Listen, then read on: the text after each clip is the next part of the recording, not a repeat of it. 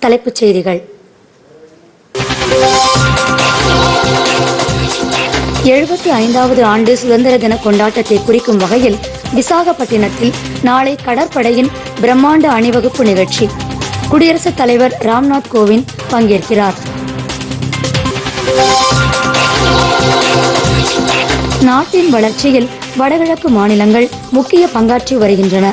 அருணாச்சல பிரதேசம் மிசோரம் மாநிலங்களின் நிறுவன தின வாழ்த்துச் செய்தியில் பிரதமர் நரேந்திர மோடி பெருமிதம்.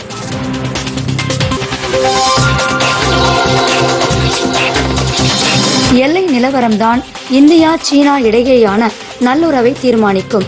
ஜெர்மனியின் மியூனிச் நகர விவாதத்தில் வெளியுறவுத்துறை அமைச்சர் எஸ். ஜெய்சங்கர் பேச்சு.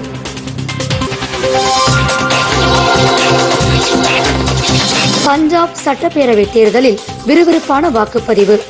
உத்தரப்பிரதேச மூன்றாம் கட்ட தேர்தலில் அமைதியான வாக்குப்பதிவு.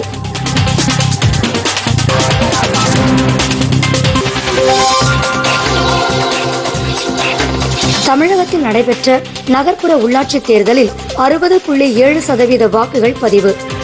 அதிகபட்சமாக தருமபுரி மாவட்டத்தில் எண்பது புள்ளி நான்கு ஒன்பது சதவீதமும் குறைந்தபட்சமாக சென்னையில் நாற்பத்தி மூன்று புள்ளி ஐந்து ஒன்பது சதவீத வாக்குகளும் பதிவு. இந்தியா வெஸ்ட் இண்டீஸ் அணிகளுக்கு இடையிலான மூன்றாவது மற்றும் கடைசி இருபது ஓவர் கிரிக்கெட் போட்டி கொல்கத்தாவில் இன்று நடைபெறுகிறது.